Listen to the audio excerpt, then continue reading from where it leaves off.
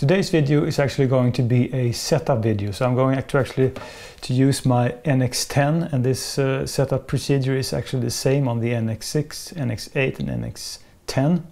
And for demonstration purposes I will actually using my FMS uh, 800mm zero. So this one does feature a, um, a Spektrum 637T inside and the setup procedure for the 630, the 631 and the, and the 637T is just exactly the same. Uh, and I will show you actually how to set up all the channels, uh, how to um, set up the, the gain channel for the AS3X and also the flight mode channel which controls safe on and off. So let's jump into the TX then and look at the basic settings for, for the setup. Here we have the NX10 and I will just show you what I actually do on the display for this one. So we're going to do a clean installation uh, from um, the NX series using then the AR637T as an example and do forward programming. Uh, so first off let's just create a new model. So we go into uh, the menu system and scroll down to system setup and we select yes. We go into model select and we just scroll down to uh, select add new model. And we just um, this is the uh, type which you select over here. So this is an airplane helicopter glider and drone. Uh, so let's just start with the an airplane with the this here is an airplane and click create. So navigation is actually done by this scroll wheel and to select you press press it so now we actually have a clean setup. So we go into model type then. Um, we already did this, but by doing this one more time, we're actually resetting everything. So now everything is just reset. Uh, so we have a clean, uh, fresh start. And then we're into, into model name, we name this one. So press this one, and uh, by default it says acro. We're going to uh, just change this for this uh, demonstration to zero. So I'm scrolling, here we have zero. And to say this name, you actually just press the back, back button and then you go into this menu again. Then you have aircraft type, the next um, uh, setup. So for aircraft type, we actually go to wing and it says normal. We can certainly scroll through uh, all these settings. But normal is actually uh, ailerons on the wing. So let's just select uh, normal. Uh, and next and we can just exit this one by going back one more. So actually what we've done now uh, is we have uh, selected all the, the basic functions for a model. By default then, if you go into channel design, uh, the Spektrum system uh, um, is configured by default uh, like the uh, channel 1 is throttle, channel 2 is aileron, channel 3 is elevator, channel 4 is rudder, channel 5 is gear, and on this NX10 I actually have uh, 10 channels. So let's go uh, back then. Uh, and now is the process of actually binding the, the airplane to the TX. So by binding you uh, go into bind and you click yes and then you select bind. But first we're going to look at what has to be done on the uh, airplane itself. Here's the inside then of my FMS Zero. So the AR637T receiver is actually mounted on, on one of the high sides. Uh, and what's important is actually uh, the connectors either have to face straight to the rear or straight to the front uh, for the gyro to work.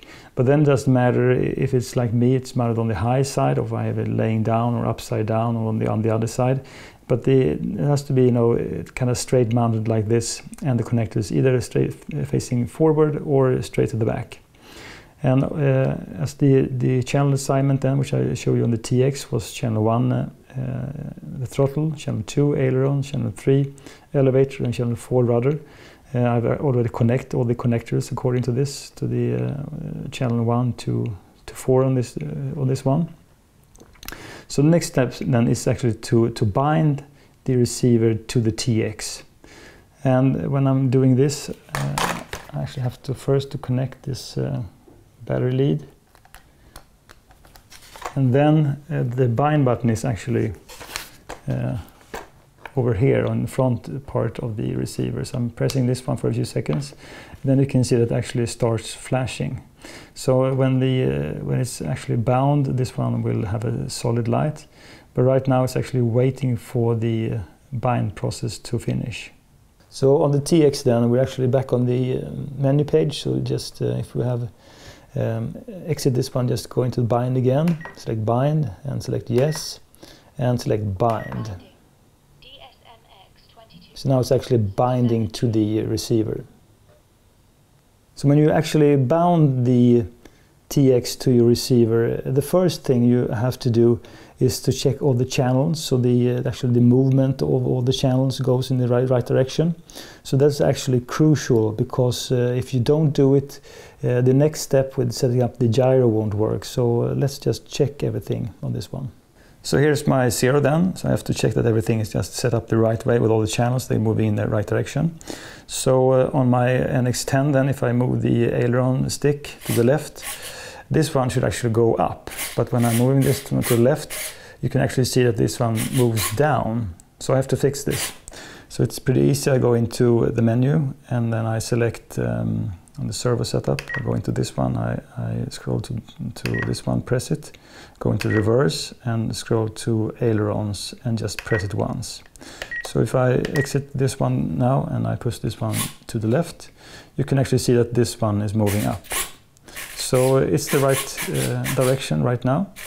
So let's uh, check all the other surfaces. So we have actually the um, elevator, for instance. So here's the elevator. So let's just um, check it when I'm moving this stick uh, up. You can actually see that this also goes in the wrong direction. So that's actually a down elevator, but I'm actually pressing up elevator.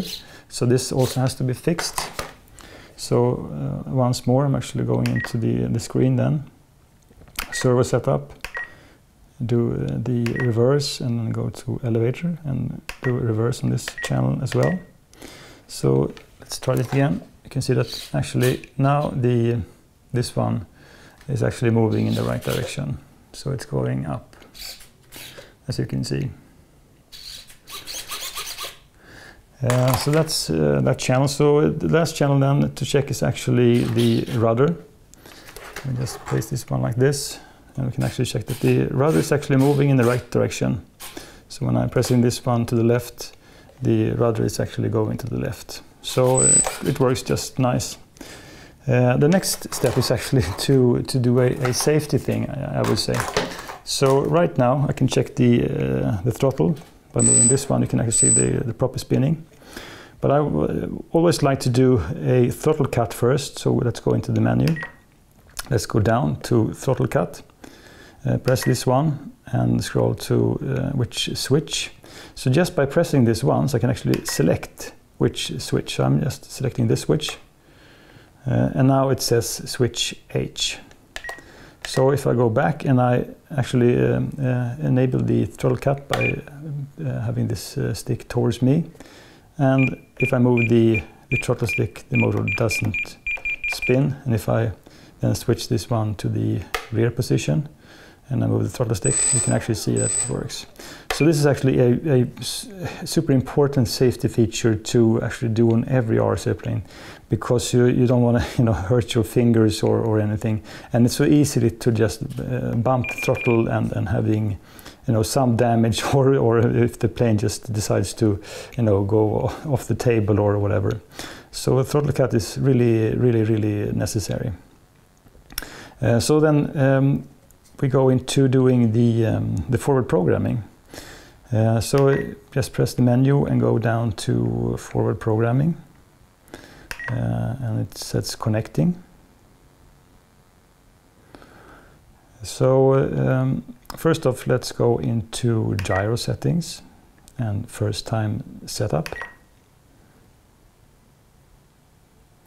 So it says uh, make sure the model has been configured, including wing type, reversing, travel, trimmed, etc. before continuing setup. And that's actually what, exactly what we did. Uh, so uh, we can just uh, select next. And then it says any wing type, channel assignment, subtrim or servo reversing changes require running through initial setup again. So this is just a warning. So if I actually would change the servo direction or anything, I actually have to do this setup procedure once more. So let's uh, proceed and uh, let's choose next. So it asks me to set the model level and press continue. So we, we have the, the zero actually level on our table. Uh, so I, I do go down to continue. and then it says set the model on its nose and press continue. Uh, so uh, I, I, select continue and I put this one on the nose like this and I press continue. And right now actually have a, a, a graphic presentation of how the receiver is mounted. So we can actually see that the it's on its side and uh, on this end uh, are the, uh, the connectors and this end is actually the bind button. So it's correct, uh, so it's orientation 4. So let's uh, just uh, select continue. Uh, and now I have to select the gain channel. The gain channel is actually this channel that that controls uh, how much AS3X gain you have during flight. So uh, by pressing this one, I can actually choose which channel and I, am not really sure, I don't think that the NX6 uh, has a, a, a, rotating knob. I know that the NX8 and NX10, like this one, has this knob. So this might not work for the NX6, but on the NX8 and NX10 it surely works. So uh, I will just choose a channel then.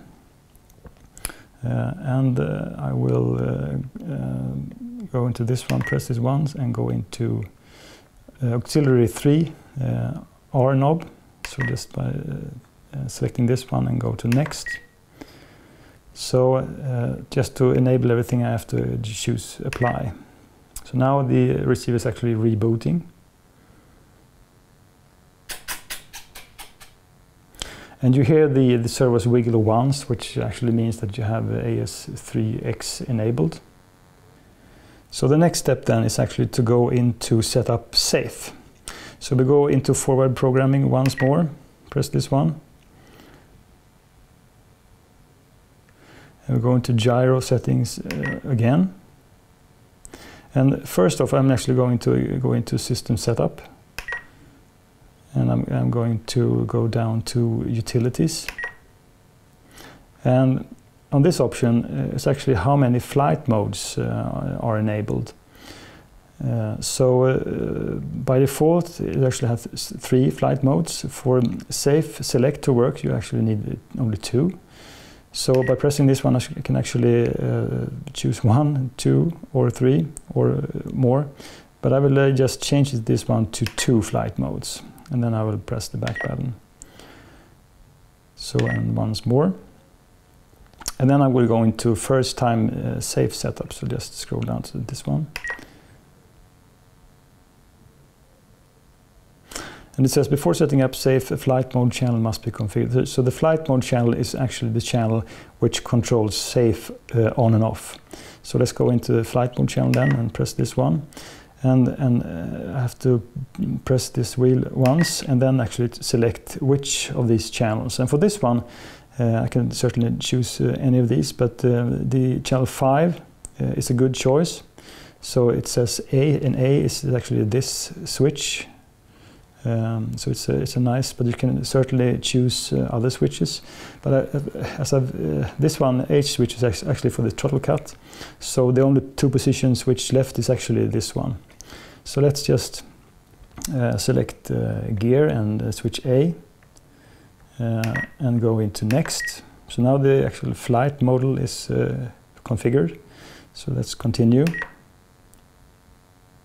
And it says select the desired flight mode, switch position to adjust settings for each flight mode. So it's just a reminder that this switch actually uh, switches between the uh, different flight modes. So let's go into next. And it says that AS3X gains must be tuned and active in safe flight modes to help reduce wobble. Well, we already did the uh, AS3X uh, gain uh, setup, uh, so everything is just ready to go. So let's choose next. Then it says level model and capture attitude. And the, uh, this one is actually really important also because uh, this tells uh, the gyro which attitude should the plane actually fly when you're, when you're in safe. So I think actually the, the, the default position of this one uh, on its landing wheels is okay. So I will go down to uh, level model and capture attitude and press this once. And what this does actually say now, this is just the, the, the pitch and roll numbers uh, relative to the gyro position. So it's okay. Uh, so let's just uh, choose next. And here uh, it actually says uh, flight mode 1 and if I uh, press, um, if I switch this one, the A switch then you can actually see that it, it does switch between the flight mode 2 and flight mode 1. So for instance, if I want to have flight mode 1 with safe enable, uh, I actually just uh, go down to safe mode, press this once and select self-level angle. Uh, and while doing this, uh, and just if you can see, especially switching on this switch. So when I have uh, flight number 2, uh, safe is not active. And when I switch to flight mode number 1, it's active. So let's go down and just press next and apply. So now the receiver will actually reboot. And as you heard, there were actually two wiggles. So one was for the AS3X enable and the other one was for safe. Um, now you can actually just go back and everything is set up uh, as you want it. So it's a really nice and, and simple way to do it. Um, uh, and when you've done it a few times, I, I think it's just super easy to do it. Uh, so that's the, the, way you do it on the FMS uh, Zero then. To check that everything is working then, I actually have uh, the A switch in the safe position, which is towards the back. And if I uh, then turn this one upside down, you can hear the ailerons is trying to correct it to level flight. Uh, and if I this, flip this one off then, so it's only in AS3X mode, I can actually hear the servos so they try to compensate and AS3X um, only really uh, corrects for, for wind gusts. If you have the wind uh, influence the RZ which it kicks it a bit, uh, AS3X will actually make it smoother. And by having uh, uh, the adjustment gain on the R knob, you can actually uh, turn the, it all the way down and then you have AS3, AS3X uh, all turned off and you can turn it uh, all the way up and then you have full AS3X. And uh, by having it on the R knob, you actually can uh, fine tune it during flight. So if you experience some sort of oscillation, if the gains are set too high, you can just use the R knob and, and tone it down. So it's a really nice feature to actually have it on the R knob. And the R knob is not available on the NX6, so keep that in mind. Uh, I mean, but this is just a, a, to me at least, a kind of quick way. It takes maybe five minutes to, to do everything uh, if you want to set up these receivers with the NX system.